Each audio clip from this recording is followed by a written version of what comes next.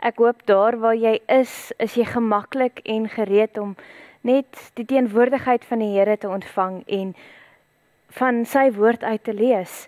Ons gee geleentheid aan die gemeente nuus. Ons gooi gou-gou hom in. Kom ons kyk gerus daarna. Hallo aan al ons kykers. My naam is Stefan van der Walt. Ek is die laaste 3 maande of so op ons kerkraad en ek deel vandag graag met julle ons gemeente nuus en vandag 'n weergawe van 'n videokontak. Die beroep van ons nuwe predikant het na effens warmer klimaat toe uitgegaan. Ons diensteens voorbinding vir Dominee Alwyn Smal en sy vrou Esna van NG Noordkus Belito Gesinskerk gedurende hierdie proses. So ook bid ons vir hulle vir veiligheid in hierdie onstuimige tyd, veral daar op hulle voorstoep. Graag wil ons vir die volgende mense by die week verjaar geluk sê. Ons wil ook graag vir Elita van ons musiekspan spesiaal geluk sê met haar verjaarsdag op die 22ste Julie. En nou, amper vergeet ek nou van 'n paar baie belangrike gebeurtenisse. Baie baie geluk aan Dolf en Anet Burger wat op die 24ste Julie hulle 50-jarige huweliksherdenking vier. En dan 'n baie spesiale verjaarsdag gelukwensing. Ons ons oudste lidmaat Tannie Johanna Maree verjaar die 24ste Julie.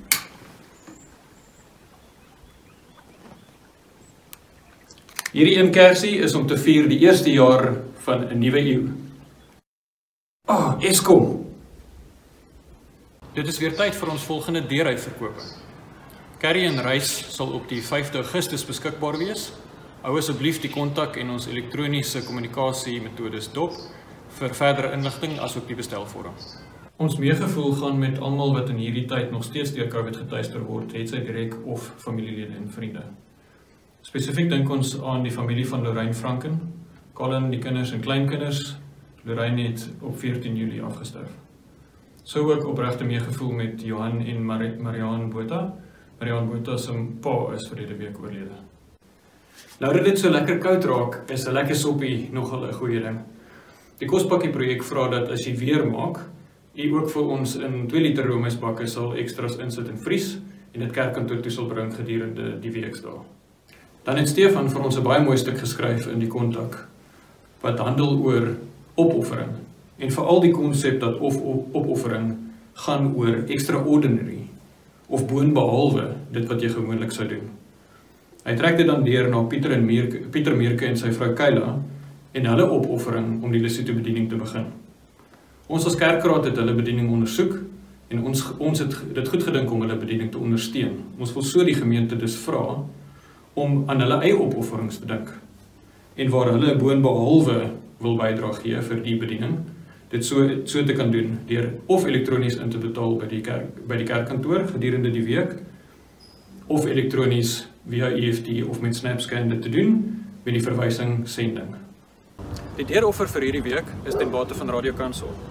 Radio Kansel en Radio Kaapse Kansel is 'n onafhanklike, transkerklike en transkulturele Christelike multimedia organisasie en hulle fokus is die uitdra van die evangelie aan Suid-Afrikaners. Lees gerus die kontak vir meer detail oor waar u hulle op DStv of op die internet kan kry. Baie dankie vir julle aandag. Ek wens julle 'n geseënde week toe. Hoe wonderlik is dit net op hierdie om op hierdie kreatiewe manier die gemeente nuus na te kyk en te luister nie.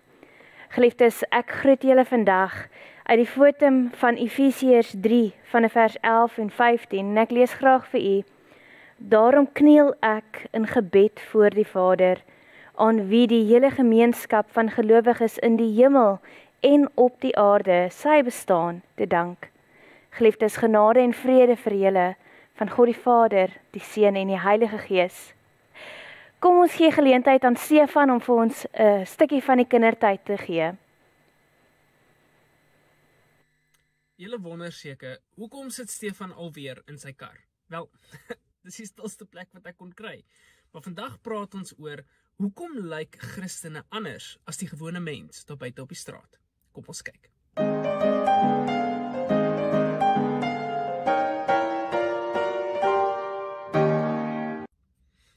Okay. So die afgelope ruk het ons gepraat oor ons as Christene. Ehm uh, wat maak ons anders? Hoekom lyk ons anders? Is ons veronderstel om anders te lyk? Ons het gepraat oor die hele bootjie ding van dat ons gestuur is om 'n sekere boodskap aan mense te gaan vertel. Ek weet of julle dit kan onthou nie. En laasweek het ons gepraat van van hoe ons lyk en en vandag wil ek praat van dit wat ons doen want dit gaan eintlik baie baie hand in hand aan mekaar en dit gaan saam want Jesus sê in sy woord dat ons liggaam is soos 'n tempel en wanneer Jesus binne in ons kom bly en soos wat ons laasweek gepraat het dan dan verander my leefwyse en mense kan dit sien want Jesus bly binne in my maar daar's nog een ding wanneer Jesus binne in my bly wanneer ek soos Jesus lyk wat ons laasweek gesê het wanneer die mense die kerk in my kan sien dan behoort ek ook soos Jesus op te tree. En hoe is dit?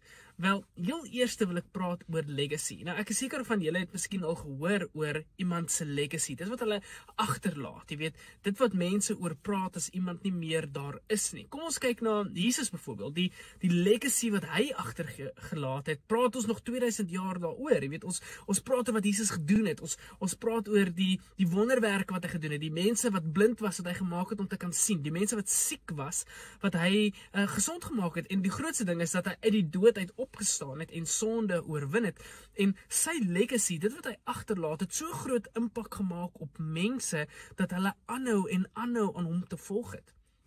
My uitdaging vandag is watter legacy laat ons agter? Wat laat ons agter van mense? Waaroor praat mense wanneer hulle na ons kyk en wanneer ons nie meer is nie? Waaroor praat mense? Wat het ons vir mense gewys? Wat het ons vir mense gedoen? Wat 'n voorbeeld het ons vir mense gestel as Christene? Want onthou, as as ons soos Jesus lyk, moet ons ook soos Jesus doen, want ons kan nie net soos hy lyk nie, want die lyk en die doen gaan eintlik baie saam. Want dit wat ek doen, wys vir mense wat in my is. Okay, hierby moet ons stop. Um, ons hoor nou dat ons as 'n Christen moet ek 'n voorbeeld kan wees vir mense. En wanneer mense na my kyk, moet hulle kan sien dat ek is 'n Christen deur die vrug wat ek dra en dit wat ek doen. Nou, ek weet, almal van ons wil iets goed doen. Elkeen van ons wil 'n goeie Christen wees, maar waar begin ons? Wat moet ons doen? Jy weet, ek meen die nood is so groot. Jy weet daar's soveel goed wat ons kan doen en en en omdat daar so baie goed is wat ons kan doen, weet ons nie waar om te begin nie. En ons weet ook nie of ons moet begin nie. Jy weet, ons is soms bietjie bang ook. Ek oh, ene, soms is ek bang. Weet wat as ek doen wat ek nou wil doen die regte ding is. Weet ek het al hierdie vrae wat in my gedagte is, maar kom ons speel 'n speletjie vandag, 'n uitdagingsspeletjie. Nou, kom ons kyk gou-gou na die reënboog. Ek gaan 'n prentjie opsit van die reënboog soos wat julle kan sien. Die reënboog het sewe kleure. Kies vir jou een van daai sewe kleure. Want wat ek gaan doen is, ek gaan vir elkeen van daai kleure gaan ek iets 'n uitdaging bysit. Dit wat jy kan doen in hierdie week om jou uh doen dinge te doen as 'n Christen hierdie week. Ietsie kleins wat jy kan doen om vir mense te wys dat Jesus in jou bly en omdat Jesus in jou bly, gaan jy op 'n sekere manier optree. Okay, so hier is ons die uitdaging vir die dag. Wanneer jy een van daai klere gekies het, as ons by jou kleer kom, maak 'n nota daarvan en of of hou dit in jou gedagte. Jy kan jy is ons baie slim en gaan doen dit hierdie week. Dit is baie maklik. So, hierso is dit. As jy rooi gekies het, wil ek hê dat jy moet 'n bejaarde bel. Miskien ouma of oupa en en hoor bietjie hoe dit met hulle gaan. Jy weet soms is daai mense alleen. Jy weet, miskien kan jy hulle iemand in die palms bel uh as jy oranje gekies het, WhatsApp iemand wat siek is of wat hulp benodig of vir iemand wat swaar kry of wat deur 'n slegte tyd gaan of jy weet wat by die huis moet sit en hulle het nie maatjies nie. Jy weet WhatsApp vir iemand wat jy miskien ken wat deur so iets gaan. As jy geel gekies het, ooh, miskien kan jy 'n paar skoene of 'n kombers weggee vir iemand wat dit nodig het. Miskien kan jy in die buurt gaan rondry en kyk of daar enige bergies is wat dit nodig het of net ander mense wat jy ken, iemand wat nie so bevoorreg soos jy is nie. As jy groen gekies het, wil ek hê dat jy moet 'n toebroodjie vir iemand maak wat honger is in hierdie week. Um ek sien baie honger mense en weet daar's ons baie mense wat nie eers geldjies het nie. Kom ons kyk of ons hierdie week vir iemand iets goed kan doen deur vir hulle 'n toebroodjie te maak. As jy blou gekies het, gaan en maak tee vir iemand in jou huisgesin en gesels bietjie met hulle, soos vir ma of vir pa. Jy weet hulle werk baie hard. Gaan en doen dit vir 'n rukkie. Of as jy uh as jy donkerder blou gekies het, I guess, lees 'n storie vir iemand. Vat 'n boek, uh miskien 'n Bybelverhaal, dis miskien baie goed en gaan lees 'n storie vir iemand. Of as jy 'n pers gekies het, Ehm um, bied aan om iemand te help om iets prakties te doen. As iemand besig is om hulle garage skoon te maak of as iemand besig is om hulle kar te was, jy weet, bied aan om hierdie mense te help. Nou, hierdie is 'n klomp goeders wat ons kan doen en ek sê nie dit is al wat jy kan doen nie, maar hierdie is net 'n beginpunt. Kom ons begin vir mense wys dat ons Christene is. Jy weet hulle moet dit nie ryk nie. Hulle moet dit nie probeer ondersoek met 'n vergrootglas en kyk of jy 'n Christen is. Die mense moet dit weet kom ons doen wat ons kan met die met die grootste smile op ons om vir mense kan wys ons is anders want Jesus bly in ons. Julle dink net die verskil wat ons gaan maak in ons gemeenskap. Dink net wat gaan mense van ons kerk sê, van ons as mense sê wanneer hulle kan sien dat ons praat net nie, maar dat ons doen. Mag julle 'n wonderlike, fantastiese week hê wat voorlê. Totsiens. Sien julle as ons dan nou weet Christus leef in ons en ons moet verander wys hoe Christus in ons leef, dan moet ons vir die Here vra, vir Christus vra om vir ons leiding te gee. Daarom steek ons die Christuskers aan en ons rig ons fokus op hom om ons voor te berei hoe ons hierdie week 'n verskil kan maak. Geliefdes, dan begin ons met die fokus op Christus en dit wat vir ons voorlê in hierdie diens om hom eers te aanbid deur die lied te sing 10000 reasons. Ek nooi jou om volle bors uit jou hart uit saam te sing.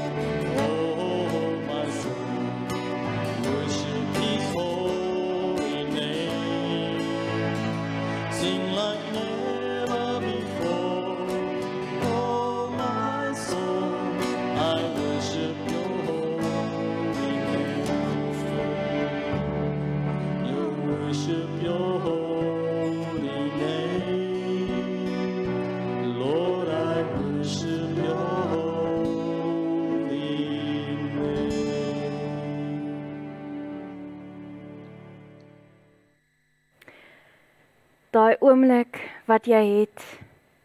Kom ons sluit jou oë, kom ons sluit mekaar se oë en ons bid tot die Here. Here, ons loof U naam. Ons prys U. En Here, soos wat ons vandag hier so sit en wil luister na U diens, weet ons ook daar's soveel goed wat in ons harte plaasvind. Soveel goed wat hierdie week gebeur het, soveel goed wat persoonlik of wêrelds gebeur het. Here wat onluste in ons hart plaas laat vind. Here ons wil vir U vra om vir ons vanaand, vandag stil te maak dat ons kan luister wat U te sê het. Here spreek. U diensknegte luister. Amen.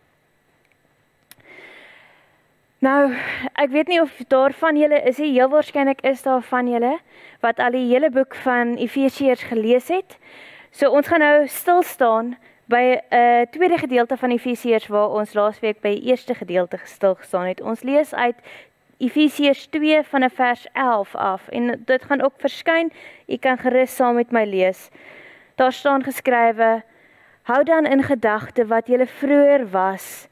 Van geboorte was julle heidene en julle is onbesnedenis genoem deur die wat hulle self die besnedenis noem.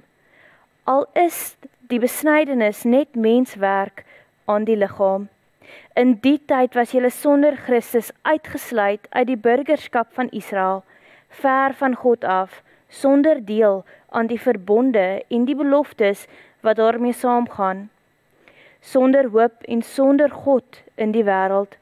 Maar nou is julle een met Christus Jesus. Julle wat vroeër ver van God gelewe het, het nou naby gekom deur die bloed van Christus. Christus is ons vrede hy wat die twee Jode en nie Jode een gemaak het deur sy liggaam te gee het hy die vyandskap afgebreek wat vroeër soos 'n muurskeiding gemaak het die wet van Moses met al sy gebooie en bepalinge het hy opgehef en deur vrede te maak het hy in homself die twee Jode en nie Jode tot een nuwe mensheid verenig Deur sy bloed aan die kruis het hy 'n einde gemaak aan die vyandskap en die twee met God versoen en tot een liggaam verenig. Toe hy gekom het, het hy die goeie boodskap van vrede gebring, vrede vir julle wat ver van God was, vrede ook vir die wat naby was. Deur hom het ons almal Jode en nie Jode deur die een Gees vrye toegang tot die Vader.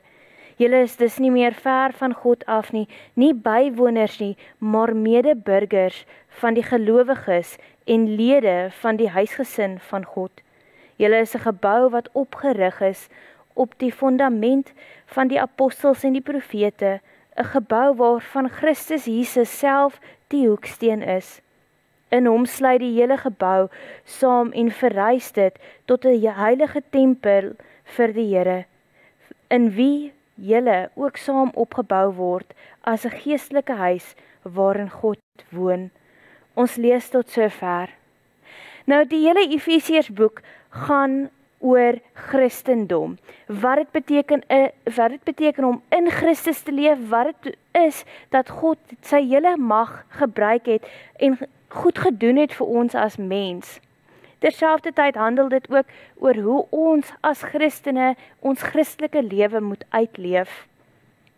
Nou laasweek het ons die voorreg gehad om te begin met Efesiërs 1 en ons het het bietjie stil gestaan met die wete dat ons in Christus is en ons is deel van God se legkaart en hy is die argitek en die meesterpakker van hierdie legkaart.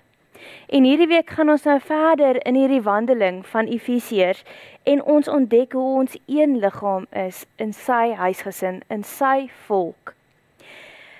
Nou wonder ek of die van julle wat nou laasweek die boodskap geluister het, bietjie gaan sit en dink het hierdie week, hoe lyk ek as Christ, 'n Christen? Hoe is ek in Christus?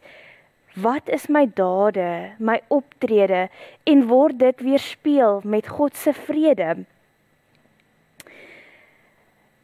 Dink gou vir 'n oomblik aan die week wat verby is. En van julle mag dalk julle stoele vasgryp, maar vergewe my asseblief.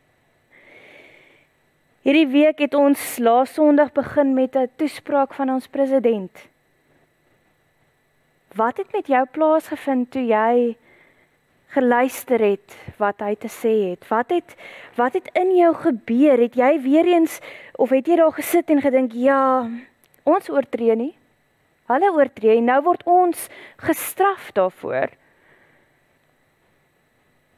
Kom ons gaan dit bietjie verder en ons vra wat het ons gedoen toe ons gesien het op verskeie platforms dat ons land besig is om te brand. Dat ons land besig is om afgebreek te word. Hoe het jy dit gehanteer? Wat het deur jou diepste gegaan? Het jy dalk net daar gesit en dink, "Ja, hulle breek alles af." Waar gaan daan gaan die geld kom? Ons versekerings gaan nou weer op. Toe jy wou winkel toe gaan of uit jou huis uit gegaan het hierdie week, het jy dalk in vrees uitgebars en dalk gesê, "Ja. My veiligheid is in bedwang." Of toe jy lekker en gemaklik gesit het en sommer deur Facebook geskrol het of verskillende sosiale media platforms en die spesifieke posts van propaganda en ideologie wat wil bevorder word, wat het jy gedoen met dit? Het jy 'n foon uitgehaal en gesê, "Yes, Saartjie, ek gaan post." Want wat jy sê is reg. So kom ons wys vir hulle. En so kan ons aangaan met die voorbeelde. En die meerderheid van die tyd kom dit op dieselfde neer. In die samelewing maak ons die onderskeid tussen hulle en ons. Hierdie kommentaar wat ons lewer in ons binneste, in die veilige ruimte van ons huise of net in die gesprekke met ander veroorsaak skeidingsmure tussen ons en hulle, hulle daar buite, hulle naby ons. En so hierdie konstante wrywing het deur die eeue ook plaasgevind veral in die geloofslewe en dit is wat ons in Efesiërs gelees het vandag. In Efese het daar was daar wrywing tussen Jood Christene en die nie-Joodse Christene nie. Ehm Christene. En hierdie onderskeid sien ons om aan die begin van ons perikoop wat ons gelees het en ons ontdek hulle interpretasie wat hierdie eerste ontvangers gesien het oor hulle self, hoe hulle mekaar gesien het en ons ontdek die skeiding tussen mekaar. Daar is duidelike verskil tussen Jood en nie-Jood. En ek wil nou vandag prakties wees, maar my my blokkies is bietjie te klein, so ek gaan vir julle op die op die skerm laat wys. Jaco gaan ons vir daar vir ons help. Verbeel jou die volgende blokkies wat daar gestapel word. Die nie-Jode het hulle self as minderwaardig gesien omdat hulle nie 'n Joodse herkoms het nie. Met ander woorde, hulle was onbesnedenis. Hulle het nie die verbondsteken aan die begin ontvang nie. Hulle het nie die tradisie volhou nie en so het hulle ook nie die wet gehad nie. Sonder die wet was hulle fisies ook ver van God af. Met ander woorde, in die Ou Testament eh, wanneer ons daar lees, lees ons oor die tempel. En die tempel was in 3 dele opgedeel. Die van julle wat nou baie goed is in die Ou Testament al baie gelees het, sal nou so 'n bietjie onthou. Daar was die buitenste ruimte, daar was die heiligste ruimte en daar was die allerheiligste ruimte. En uit daai drie gedeeltes, die allerheiligste ruimte was die die sentrale punt waar Christus was of waar God se teenwoordigheid was, was die Jode net ehm um, toegelaat om in die buitenste ruimte te kom. So hulle was baie ver van God se teenwoordigheid af want hulle was geklassifiseer as onrein. Saam met dit het hulle dan dus nie deel gehad aan die verbonds ag die reddingsplan nie, die verbondsplan nie. Want hulle kon nie die wet onderhou nie. Hulle het nie die besnydenis gehad nie, so hulle was buite die bereik van God se redding. En laastens hulle het sonder vrede geleef. Niks wat hulle sou gedoen het sou vir hulle die moontlikheid gegee het van redding nie. Hulle het nie die belydenis, ag die besnydenis gehad nie, hulle het nie die wet, gehad nie, hulle het nie die tempel gehad nie en hulle het nie die vergifnis gehad nie. So hulle het sonder vrede geleef. Maar Paulus kom en sê dis nie net die Jode nie, kyk wat gebeur met die ag dis nie net die nie Jode nie, kyk wat gebeur met die Jode. Ja, hulle het die besnydenis gehad, met ander woorde die verbondsteken wat van jaar tot jaar tot jaar van generasie tot generasie tot generasie plaasgevind het en oorgedra is. So het hulle ook die wet gehad wat van generasie tot generasie oorgedra is. Hulle was naby aan God, ja, onthou hulle kon in die buiterste ruimte gekom het, hulle kom kon in die um, heiligste terrein gekom het, maar so ook een hoëpriester kan eenmal in 'n jaar in die allerheiligste ruimte gekom het. Maar Paulus kom en sê hulle was ook buite God se reddingsplan. Nou dink julle seker, o, oh, dit klink nie dit klink nie reg nie, maar hoor gou-gou. Hulle het die tekens gedra, ja. Hulle het selfs die tempel gehad, maar hulle was steeds ver van God af. Hulle was steeds ver van wie hulle sondes. Hulle kon nie alleenlik net deur wet en verbondstekens redding vind nie. So hulle was ook sonder vrede want die wet het hulle steeds aangekla. Soos wat julle kan sien as julle nou denkbeeldig hierdie twee mure langs mekaar gesien is daar 'n skeidingsmuur tussen die Jood en die nie-Jood. Maar so kom Paulus en sê daar's ook 'n skeidingsmuur tussen hulle, die gemeente, met ander woorde Jode en nie-Jode, beide van hulle en God. Die Jode mag dalk die verbond gehad het, hulle mag die beloftes gehad het, hulle mag die nabyheid van God gehad het, maar Paulus kom en sê julle is ver van God af. Hulle het geroem op hulle nasionaliteit en hulle um besnydenis en hulle onderhouding van die wet maar hulle was ver van God af. Niks kon hulle nader aan God gebring het nie. Inteendeel, ek wil so ver gaan om te sê hulle status, hulle nasionaliteit, hulle verbondsteken het gelei tot arrogansie en geestelike hoogmoed. Maar jy kan nie alleenlik deur eie roem God se redding ontvang nie. En so die nie-Jode Hulle kon aan die ander kant niks gedoen het nie. Hulle kon niks gegee het om naby of nader aan God te kom nie. Paulus kom en sê vir hierdie gemeente in Efese kyk anderste na jou konteks. Onthou, dis net deur Jesus Christus wat jy redding kan vind. Dis nie jou herkoms of jou vroomheid of jou gehoorsaamheid nie, alleenlik deur Christus. Hy is die een wat die bloed vergiet het sodat almal deel kan vorm van sy belofte. Want hy het die mens liefgehad of lief nog steeds. Christus het een gebou gevorm waar hy die hoeksteen is en ons almal is deel van hierdie gebou. Ons almal is boustene in dit. Nou hoe raak dit ons? Geliefdes, Paulus het ons nie so ook die eerste ontvangers van Efese nie in droefheid agtergelaat nie. Hy kom en sê besef dat Christus die hoeksteen is. Dit is duidelik dat God se doelbewus eh, het doelbewus sy genade uitgebrei na die hele nasies toe om almal in te sluit. Dit was van die begin af God se plan. Hy het vir Abraham oorspronklik geseën, geroep en geseën sodat hy en sy nageslag die nasies sou kan seën. En verder het God sy sy plan uitgevoer om Christus te bring om ons tot redding te bring.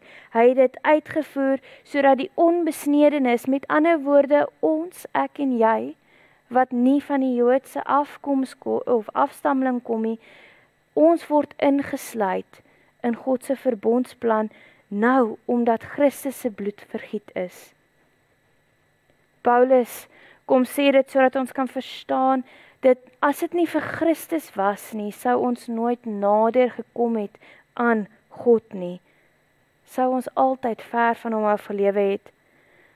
Daarom aan die een kant moet ons sê as ons in Christus is, ons boustene in sy identiteit is, dan is daar geen plek vir hoogmoed of aanstellerigheid nie.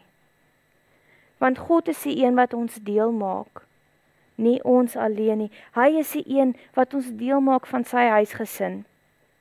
Dan kom ek op die vraag, nou wat beteken dit vir, vir ons, vir my en jou vandag? Ek lees weer vir u vers 13. Daar staan geskrywe: "Maar nou is julle een met Christus Jesus." Julle wat vroeër ver van God gelewe het, het nou naby gekom deur die bloed van Christus. Geliefdes Paulus bring nuwe perspektief in ons lewe, in ons identiteit in God, in ons identiteit in Christus. Dit gaan nie oor wat ons was nie, maar wat ons nou is. Eens was God ver van ons af, nou is hy naby aan ons. Eens het ons geen tekens gehad om te sê ek is God se nie. Nou het ons die bloed van Christus. Die skeidingsmuur tussen Jood en nie-Jood het God, het Christus afgebreek. Maar toe hy dit afgebreek het, het hy ook gekom soos die eeuoue uh, voorspellings van die Bybel of al die Ou Testament, so het hy gekom en ook die skeidingsmuur tussen ons en God afgebreek en hy het 'n nuwe verbond met ons gesluit. 'n Verbond waar hy sê ek het jou verniet gekies.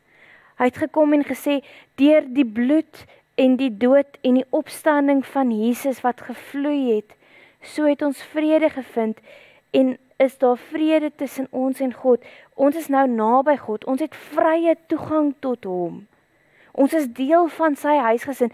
Inteendeel, hy Paulus skryf dit so mooi, ons is medeburgers, lede van sy huisgesin. God het die beloftes vervul. Hy het die fondasie geskep. Hy is die hoeksteen waar Jesus vir ons red uit sy genade uit. Ons is nou verenig met die Vader. Daarom het ons nou vrede in hom. Dit bring my terug na die vraag wat ek aan die begin gevra het. As ons dan nou leef naby God, trouens as dit ons geestelike huis is waarin ons woon wat ons in vers 22 raak lees, lyk en leef ons soos mense wat deur die bloed van Jesus Christus verander is. Waarmee is jou gedagtes besig? Wanneer jy sien hoe die winkels geplunder word en afgebrand word. Sal dit God se genade weerspieël? Hoe kyk ek en jy na my ons medemens wanneer hulle sukkel om te oorleef in ons land? Geliefdes, wanneer ons na die sosiale media kyk en ons dit ontvang en daar duidelik goed geplaas word wat gepolariseer moet word, stuur ek en jy dit aan of spreek ons dit aan? As jy wegstap met iets vandag, dan moet jy wegstap met die volgende: As jy in Christus is en hy is jou fondasie, dan moet hy ook jou filter wees. Waardeur jy na die wêreld kyk. En dit is ons uitdaging sodat ons die sout en die lig vir die aarde kan wees. God se sout en lig. Daarom nooi ek jou uit Geliefdes, ons weet dit is moeilik. Dit is baie moeilik om ons menslike reaksies te stop en deur God se oë te kyk. Maar ek nooi jou uit om hierdie week jou fondasie, jou hoeksteen hom te gebruik as jou filter en na die wêreld anders te kyk. As jy nie weet waar om te begin nie, gaan kyk weer terug wat Stefan gesê het. Daar is soveel voorbeelde en ons moet nie net daar stop nie. Gaan en wees die verskil. Gaan en wees die boustene van God se identiteit. Amen. Kom ons sluit die oë. Here, ons weet dit is nie maklik nie, Vader. Ons raak so vas aan ons emosies.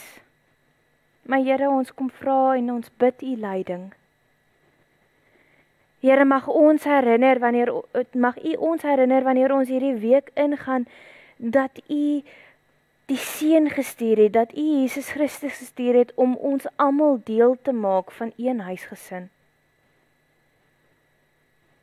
Here dat ons nie meer skeidingsmure het tussen mekaar nie en ook nie met U nie.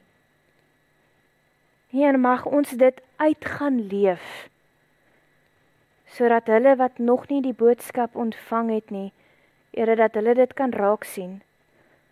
Sodat hulle wat hopeloos is wat moeg is Vader sodat hulle kan sien en u liefde en aanvaarding en vergifnis kan ervaar. Ons vra u leiding nie omdat ons dit verdien nie Vader, maar enkel uit die heilige genadige naam. Amen. Geliefdes, ontvang dan nou die seën van die Here. Die Here sal jou seën en jou beskerm. Die Here sal tot jou genade verskyn en aan jou vrede gee. Die Here sal julle gebede verhoor en aan jou genadig wees. Amen.